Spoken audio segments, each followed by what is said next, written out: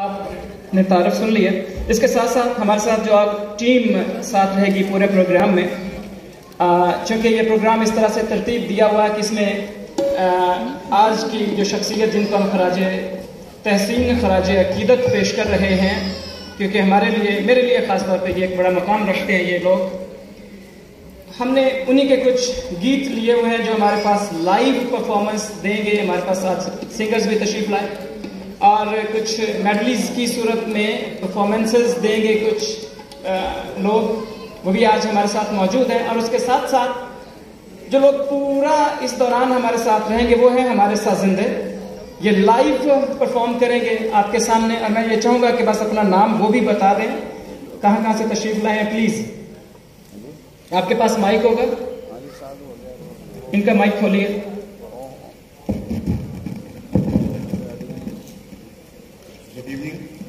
आप सब कुछ ला और मैं इनका तारफ करवाता जाऊँ ये हमारे आसफ साहब हैं और ये पीटीवी से स्पेशल इन्होंने वैसे तो लाहौर में लेकिन ये पीटीवी कराची से काम करते हैं। और इन्होंने हमारे प्रोग्राम को सुन के ये स्पेशल हमारे लिए आए हैं। तो मैं कहता हूँ, इनके लिए ज़रा क्लापिंग कर दें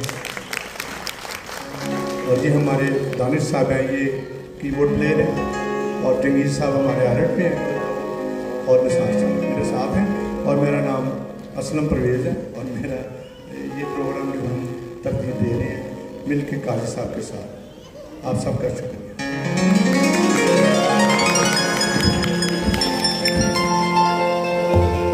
खातिनों हजरात,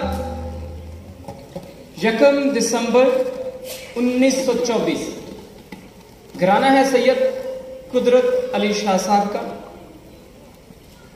मकाम है जल गाँव खानदेश, नसीराबाद बम्बई महाराष्ट्र, इंडिया। इस घराने में एक बच्चे ने जन्म लिया, जिनको जन्म के बाद नाम दिया गया सैयद निसार अहमद का।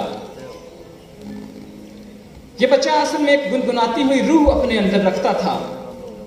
ग्यारह साल की उम्र में इनको अपने मुआशी हालात की तंगी की वजह से काम करना पड़ा। और जो काम इन्होंने पसंद किया, वो एन इनकी रूह की गज़ा के मुताबिक था। आप हिंदुस्तान के अंदर बम्बई में उस्ताद यासिन खान कवाल के हम नवा बन गए। तो ये इनकी पहली प्रैक्टिकली एक परफॉर्मेंस थी। इनके साथ काम करते करते मौसीकी की असलियत इनके सामने जब खुलने लगी तो इन्होंने मौसीकी को बाकायदा सीखने का इरादा किया।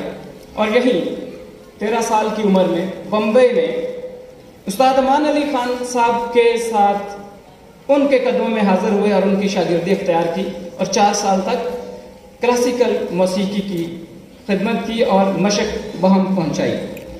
उन्नीस में ऑर्केस्ट्रा बजाने की और ख़ासतौर पर इन्हें गाने का शौक था। बजाने और गाने की नौकरी ऑल इंडिया रेडियो बम्बे पे। इन्होंने कुछ पैसों के बस ये पहली नौकरी इख्तियार की। यहीं पे चलते चलते 1944 में इसी रेडियो ने एक ड्रामा ब्रॉडकास्ट किया। ड्रामे का नाम था नादर शाह। इसमें पहली दफ़ा इसका जो बैकग्राउंड म्यूज़िक था